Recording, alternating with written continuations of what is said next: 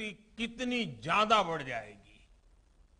और इसलिए नई राष्ट्रीय शिक्षा नीति युवाओं को ये विश्वास दिलाती है कि देश अब पूरी तरह से उनके साथ है, उनके हौसलों के साथ है। जिस आर्टिफिशियल इंटेलिजेंस के प्रोग्राम को अभी लॉन्च किया गया है, वो भी हमारे युवाओं को फ्यूचर ओरिएंटेड बनाएगा। एआई ड्रिवन इकोनॉमी के रास्ते खोलेगा। शिक्षा में ये डिजिटल रिवॉल्यूशन पूरे देश में एक साथ आए। गाँव, शहर सब समान रूप से डिजिटल लर्निंग से जुड़े, इसका भी खास ख्याल रखा गया है।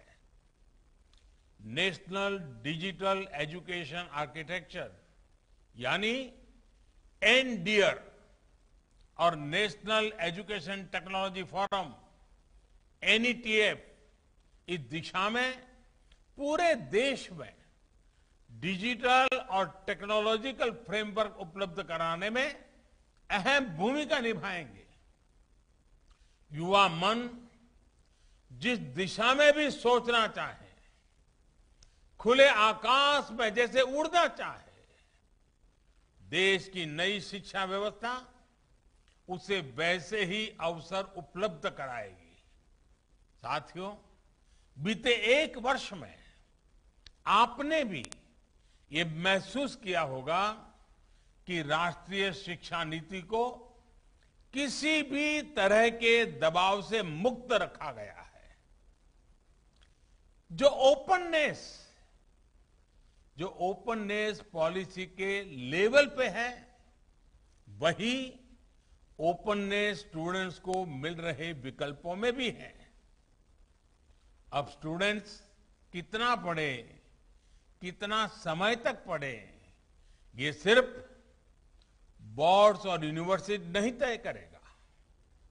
इस फैसले में स्टूडेंट्स की भी सहभागिता होगी।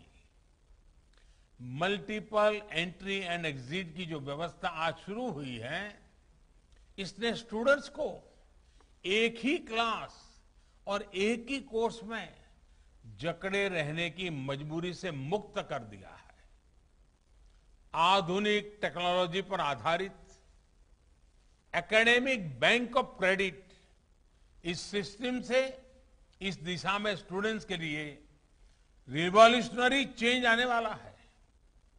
अब हर युवा अपनी रुचि में, अपनी सुविधा से कभी भी एक स्ट्रीम को चूज़ कर सकता है, छोड़ सकता है। अब कोई कोर्स सेलेक्ट करते समय ये डर भी नहीं रहेगा कि अगर हमारे डिसीज़न गलत हो गया तो क्या होगा। इसी तरह structured assessment for analysing learning levels यानी सफल के ज़रिए स्टूडेंट्स के आकलन के भी वैज्ञानिक व्यवस्था शुरू हुई है। ये व्यवस्था आने वाले समय में स्टूडेंट्स को परीक्षा के डर से भी मुक्ति दिलाएगी। ये डर जब युवा मन से निकलेगा तो नए नए स्किल लेने का साहस और नए नए इनोवेशंस का नया दौर शुरू होगा, संभावनाएँ असीम विस्तार होगी। इसलिए मैं फिर कहूँगा कि आज नई राष्ट्रीय शिक्षा नीति के तहत जो ये नए कार्यक्रम शुरू हुए हैं, उनमें भारत का भाग्य बदलने का सामर्थ्य